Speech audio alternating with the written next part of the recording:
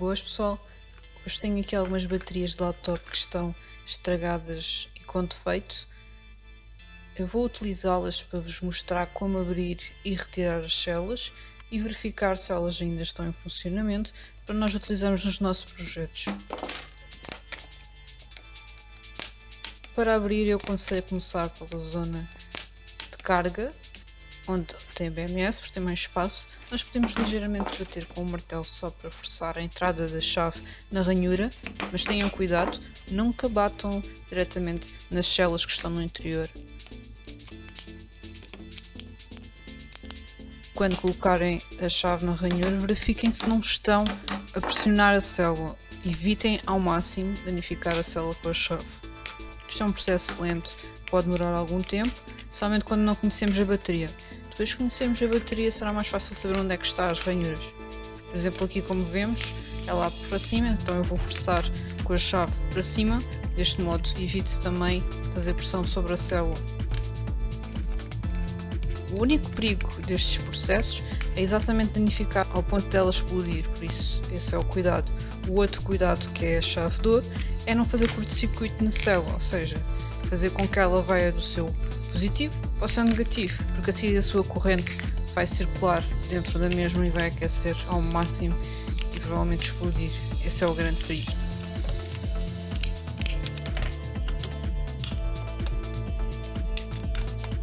Assim que nós conseguirmos abrir, vamos tirar o pack de células e vamos passar para o seguinte processo. Em primeiro lugar, vamos tirá-las em pack de 2, que é mais fácil. Para evitar o tal curto-circuito, começamos por um lado e vamos tirar, ou seja, negativo ou, ou o cabo positivo que está ligado à BMS. Eu estou a usar um alicate de metal, é seguro,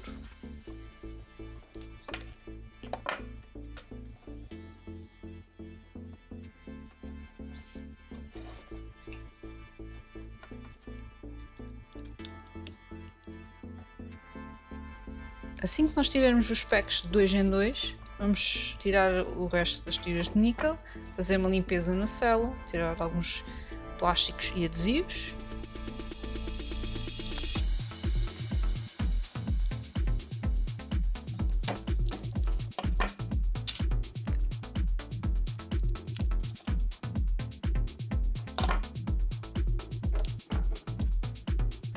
Vou-vos mostrar esta segunda bateria só para verem como é mais fácil e foi muito mais rápido abrir. Também para, para reforçar um bocado o processo.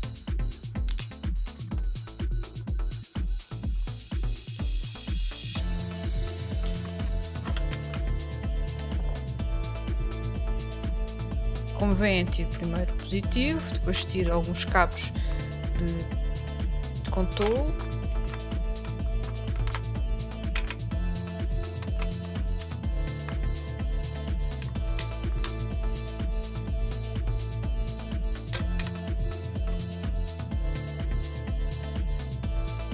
separá-las em uma.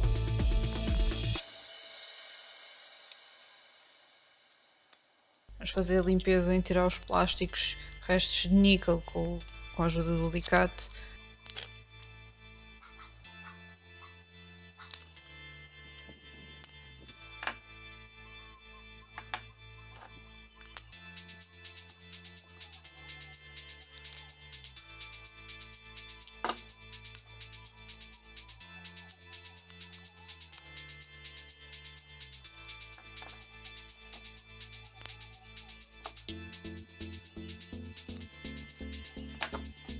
Ok, o próximo processo será verificar se há algum dano muito grave na célula ou se o próprio plástico está danificado e acaba por ser inseguro, então ou nós trocamos o wrap ou simplesmente jogamos fora. Primeiro vamos verificar a tensão de cada célula e neste caso 2.3 está bom para fazermos a carga. Este pack está excelente provavelmente nem tinha nenhum defeito, ou foi mesmo a BMS que falhou.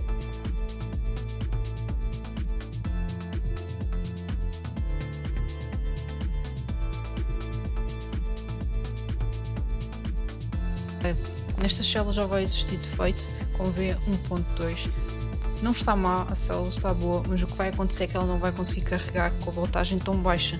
Eu vou-vos mostrar um truque simples para fazer o carregamento dessa célula. Não é muita quantidade porque vai lançar grande carga sobre a célula, mas vai fazer com que ela carregue. Esse é um método rápido, existe outra forma de fazê-lo lentamente, ou se vocês tiverem um carregador específico que consiga fazer isso, ótimo. O processo consiste em usar uma célula boa que tenhamos carregada e atenção, é muito importante, vamos colocar positivo no positivo da outra célula o negativo com o negativo da outra célula. Isso vai fazer com que, que seja carregada durante alguns segundos, ok? E desta forma vamos conseguir carregá-la.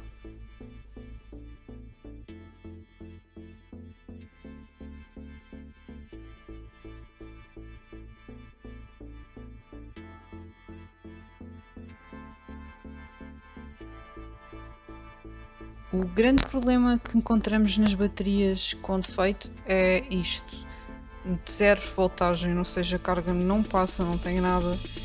E estas são as primeiras a ir para o lixo. Existe uma maneira de recuperá-las, mas não é seguro e eu prefiro que vocês joguem fora.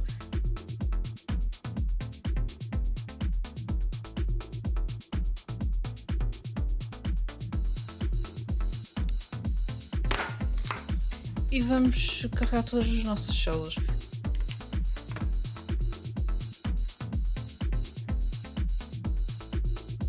Assim que elas saírem vão ter volta de 4.2 voltagem. Depois de uma semana vamos verificar se existe algum vazamento. Como veem algumas células estão ótimas, 4.1.8 e há umas que 3.9, vocês perderam um pouco de carga, neste caso estas já até estão há mais tempo dia têm danos. Como eu disse, se encontrarem este tipo de danos ou ferrugem, joguem fora, não vale a pena estar a arriscar. Pronto, depois deste processo podemos armazenar, simplesmente para armazenar o considerado não seria 4.2, mas isto foi necessário para verificar a qualidade das baterias. Espero que tenham gostado do vídeo, por favor inscrevam-se no meu canal e obrigado por assistirem até ao fim.